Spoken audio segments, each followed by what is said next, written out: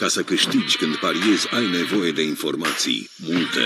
De aceea eu pariez pe NetBet. Aici văd toate meciurile în direct și am informații la secundă.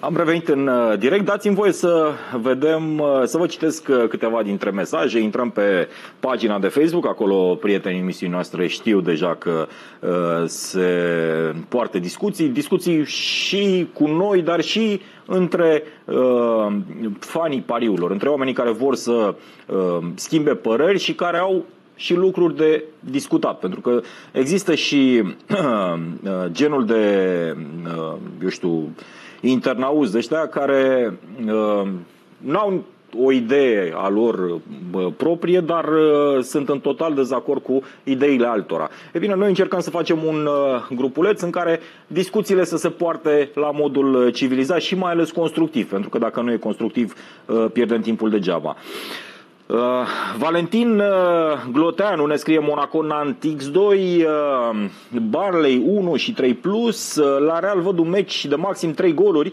Se joacă la o oră foarte devreme, ne scrie uh, Cătălin Chihaia. Uh, mâine încerc un 2-1 pentru Halep, uh, ne scrie Nicu Oprescu.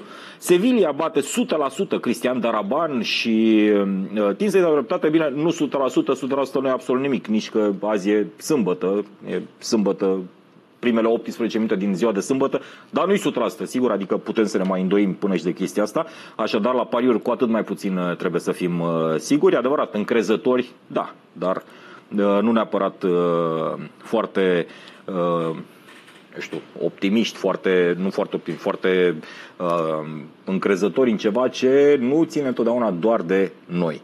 E bine, uh, am ajuns în Franța, prieteni. Clasamentul arată cum îl știam, nu sunt mari schimbări în Franța. Uh, PSG lider urmate de Lille. Lille uh, cenușereasă, da, o cenușereasă care face o treabă absolut uh, fabuloasă în acest sezon. Lyon avea 43 de puncte, dar a câștigat în seara asta și s-a dus la 46. Saint-Étienne 40 de puncte, Montpellier și Marseille. Bun, Marseille o primește pe Amiens pe teren propriu și e favorită în, în această partidă. În mod evident, chiar dacă jocul său nu este unul convingător, departe de a fi convingător, lipsește și Paiet în continuare, Rami e incert, o, totuși încercăm unul solist, Amiens este locul 16 și uh, diferența de valoare există totuși. Angers joacă cu Nice, X în uh, pauză sau la final. Aici statistica ne spune că ultimele ultimele trei meciuri directe s-au încheiat la egalitate, așadar un pariu care are acoperire. Can, Strasburg, X2 și 0,5 goluri, o cotă de 1,42. Lille, Montpellier, peste 1,5 uh, goluri. Vă spuneam, Lille fabuloasă în uh, ultimele meciuri, 5 victorii consecutive în uh, campionat, așadar maximum de puncte în ultimele 5 runde și mai avem un Saint-Étienne PSG, 0,4 goluri. X2 și 0,4 goluri, pardon, la o cotă de 1,50.